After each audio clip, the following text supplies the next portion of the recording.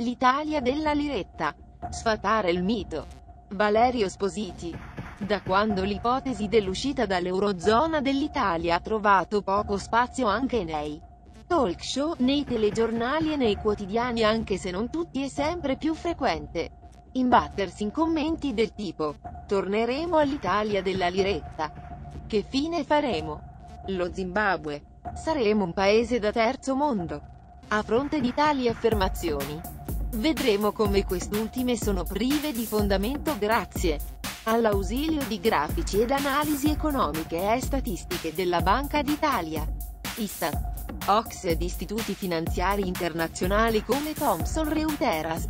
Come chiunque sa, oggi siamo in recessione ovvero con un PIL negativo con prospettive di peggioramento per il 2013. Andiamo a vedere allora com'era la produzione industriale italiana prima dell'entrata nella moneta unica, confrontandola con quella relativa agli altri paesi principali dell'Eurozona. È come oggi. Il grafico che potete vedere qui sopra è stato riportato dalla Banca d'Italia nella relazione annuale del 2011 nel capitolo Andamenti macroeconomici, politiche di bilancio e politica monetaria nell'area dell'euro. Come potete benissimo notare, nel 2001 l'Italia era la prima della classe, il paese più produttivo. Oggi, nell'Eurozona, l'Italia, come potete notare nella parte del grafico relativa all'anno 2012, è sprofondata al penultimo posto, prima della Spagna. La produzione industriale italiana è stata distrutta. Ma date un'occhiata a chi, mentre nel 2001 era l'ultima della classe, ora, nell'Eurozona, è invece la prima. La Germania. Spostiamoci ora sulla competitività dei principali paesi europei prima dell'entrata nell'Eurozona e dopo. Anche il presente grafico è stato presentato dalla Banca d'Italia nella relazione annuale del 2011 nel capitolo Andamenti macroeconomici politiche di bilancio e politica monetaria nell'area dell'euro. Potete benissimo notare come, prima del 2002, l'Italia e la Germania stavano più o meno alla pari in termini di competitività sui mercati. Erano le migliori d'Europa. Mentre nel 2011, dato che un aumento dell'indicatore indica una perdita di competitività, la Germania dell'euro ed in misura minore anche la Francia ci ha sorpassato di gran lunga. Relativamente alla Germania è bene ricordare, però, come essa abbia completamente schiacciato il costo per unità di lavoro già dalla fine degli anni 90 per prepararsi all'entrata nell'UEM nelle parole di Jan Kregel del 1998. La Germania sembra aver adottato una politica di controllo della crescita dei salari nominali ha un tasso che è inferiore alla crescita della sua produttività interna.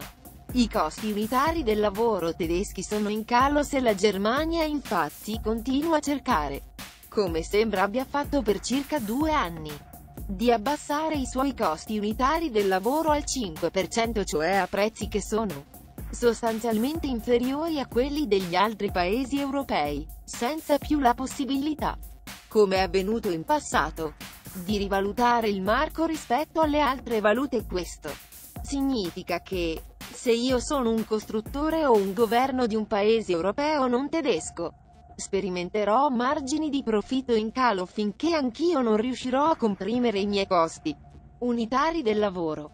Pertanto, se vi è il rischio associato con l'introduzione dell'UEM di una moneta unica nelle condizioni in cui la Germania sta praticando una politica basata sulla Convinzione che in termini assoluti i costi salariali sono troppo elevati rispetto all'Asia e agli Stati Uniti non internamente. Relativamente all'Europa ci saranno pressioni deflazionistiche molto forti sulle retribuzioni degli altri paesi europei, che produrranno un rischio che è, direi, ora approssimativamente in equilibrio tra inflazione e zero deflazione. È esattamente ciò che è accaduto e che sta accadendo.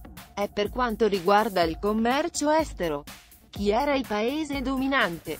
Per rispondere a questa domanda è sufficiente mostrarvi questi grafici, mostrati dagli economisti Amat Stefani e Kelton, Marshall Auerbach e William Black. Michael Addison è dai uno dei padri della teoria del circuito monetario. Alan Pargens. Al summit di Modern Money Theory di Rimini tenutosi dal 24 al 26 febbraio 2012. Il grafico seguente mostra le partite correnti export-import dei principali paesi dell'Eurozona prima che adottassero l'euro, nel 1997. L'Italia godeva di un surplus commerciale, mentre la Germania era in deficit. Guardate ora cosa è accaduto con l'introduzione dell'euro. Chi ci ha guadagnato? Come riportava anche il Sole 24 Ore il 6 giugno 2012. E qui arriva il primo dato che dà la dimensione di quanto la Germania fino ad oggi stia tecnicamente beneficiando, in termini finanziari ed economici, da questa crisi. Nei giorni scorsi il Bund tedesco a 10 anni prezzava un rendimento dell'1,345% annuo, mai così basso nella storia, se si depura questo tasso per l'inflazione che viaggia oltre il 2% si ottiene un rendimento reale negativo dato che, letto al contrario, equivale a una sorta di ristrutturazione gratuita del debito pubblico tedesco. Niente male. Come vantaggio in tempi di crisi. Anche perché questo avviene mentre i vicini, quelli più a sud, annaspano, costretti a pagare rendimenti reali da record sul debito. E qui arriva il secondo vantaggio della Germania da questa crisi. Questa volta più economico che finanziario. Negli ultimi mesi è infatti aumentato lo shopping della Germania di imprese italiane ed europee a prezzi scontati. Ma non finisce qui. La Germania, quello stesso paese che nel 1997 pagava sui Buna da 10 anni un tasso del 5,5%, non lontano dal 6,1% dei BTP di quel tempo, funziona alla grande con l'euro. Lo dimostrano i dati sulla bilancia dei pagamenti correnti che registra tutte le transazioni economiche di un paese tra residenti e non residenti e quindi anche il saldo import-export. Dal 1989 al 2000 quindi in piena fase pre-euro la bilancia dei pagamenti correnti della Germania era in rosso per 126 miliardi. Dal 2001 al 2012 a quando in piena fase euro comprendendo anche l'attuale fase di crisi dei paesi periferici è balzata in positivo a quota 1791 miliardi dati Bloomberg rilanciati dalla trasmissione televisiva Mercati. Che fare di Banca Mediolanum? È l'Italia. Prima dell'introduzione dell'euro aveva una bilancia dei pagamenti correnti positiva 53 miliardi contro meno 388 accusati nel periodo successivo. Altre esternazioni prive di fondamenta che è facile sentire sono quelle relative al debito pubblico, agli eccessivi deficit di bilancio, all'inflazione degna di Weimar e quant'altro. Andiamo ora a vedere, secondo l'ordine poc'anzi iscritto, il problema del debito pubblico e dei deficit di bilancio. Ho già scritto più volte come un paese con piena sovranità monetaria ed una fiat money non possa mai fallire neanche a fronte di debiti pubblici giganteschi. Ciò è stato oggetto di numerosi studi accademici e soprattutto da parte dell'economista Charles Guzarat, professore alla London School of Economics che ha lavorato anche nel Bank of England Monetary Policy Committee dal 1997 al 2000. Anche l'ex governatore della Fed Alan Greenspan è dello stesso avviso. Gli Stati Uniti possono pagare ogni debito che hanno perché possiamo sempre emettere moneta. Per farlo. Quindi c'è una probabilità pari a zero di fare default. Per quanto concerne i deficit di bilancio. Ne ho già parlato in un mio articolo pubblicato tempo fa ma andiamo ad analizzarli più nel dettaglio con l'ausilio del seguente grafico. Il grafico appena riportato mostra i saldi settoriali dell'Italia in percentuale al PIL. Come potete notare, ad un deficit di bilancio governativo Public Sector Financial Balance corrisponde specularmente un surplus di bilancio privato Private Sector Financial Balance. Ciò sta a significare che un deficit di bilancio del governo GT Spesa pubblica tassazione comporta un aumento della ricchezza finanziaria netta per il settore privato famiglie, aziende, banche. Più il governo è in deficit più la ricchezza finanziaria netta di famiglie e aziende aumenta.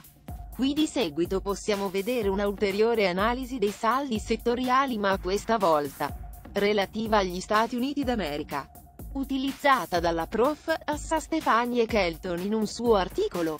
Stessa situazione come per l'Italia. Ad un deficit governativo corrisponde un surplus privato.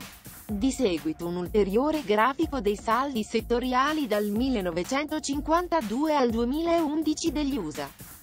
Ma noi siamo nell'Eurozona, dove non possiamo più emettere la nostra moneta per finanziare la spesa pubblica ma dobbiamo prendere in prestito dai mercati dei capitali privati internazionali, banche commerciali, fondi di investimento, fondi pensione, hedge funds, e ogni singolo euro ha i tassi di interesse decisi dai mercati dei capitali medesimi. Questa è la principale e drammatica causa della crisi dell'Eurozona. Per entrarvi più nel dettaglio possiamo leggere cosa scrisse un altro economista della Modern Money Theory nel 1998, ben quattro anni prima che l'euro diventasse la moneta unica. Matteo Forstater. Le forze di mercato possono richiedere una politica fiscale prociclica durante una recessione, aggravando gli effetti recessivi anche se non ci fossero limiti imposti sul deficit dei paesi e dei debiti nazionali. La struttura della UM rende quasi impossibile per un paese adottare una politica anticiclica di bilancio anche se ci fosse la volontà politica. Questo perché, cedendo la loro sovranità monetaria nazionale, i paesi non sono più in grado di condurre una politica fiscale e monetaria coordinata, essenziale per una risposta completa ed efficace alle crisi periodiche della domanda. Per concludere, Passiamo a vedere i dati relativi all'inflazione connessa al risparmio delle famiglie e alla chiusura del credito da parte delle banche alle imprese. Attenendoci ai dati Istat, nel 1980 l'Italia aveva un'inflazione pari al 21,2%. Molti ora staranno pensando che eravamo nella situazione dello Zimbabwe, di Weimar. Era l'anno in cui le famiglie consumavano tutto il loro reddito non risparmiavano nulla poiché i prezzi continuavano a salire senza sosta. Stando ai dati OXE, questa semplificazione l'ennesima priva di fondamenta non regge. I dati OXE ci dicono che nel 1980 il risparmio delle famiglie era il 25%, il più alto risparmio al mondo. Ma vediamo anche i dati relativi al 1990, con un'inflazione molto più bassa. Il risparmio privato delle famiglie era aumentato al 25,5% dati OXE e l'inflazione viaggiava al 6,5% dati Istat, ancora l'Italia leader mondiale del risparmio delle famiglie. Nel 2009, sempre secondo l'Istituto Nazionale di Statistica, avevamo un'inflazione pari allo 0,8%. Gli economisti tromboni della televisione diranno che questo è un ottimo livello. Che con un'inflazione del genere siamo un paese moderno, ricco e produttivo. Ahimè nemmeno questa affermazione supera la prova dei fatti. Sempre l'Ocse afferma che nel 2009 il risparmio delle famiglie era crollato al 6,8%. Era crollato quasi quattro volte tanto. In conclusione, Vediamo ora quali sono le cause principali del credit crunch delle banche nei confronti delle imprese italiane, delle quali ne falliscono migliaia ogni giorno. Linea rossa del grafico sopraindicato rappresenta le aspettative generali sull'outlook economico, cioè sulla prospettiva dell'economia. Le banche sanno che lo Stato italiano non può più emettere moneta per far ripartire l'economia italiana sanno che ora la creazione di attività finanziarie per i cittadini e le imprese è completamente in mano alle banche, dato che lo Stato è stato tolto di mezzo.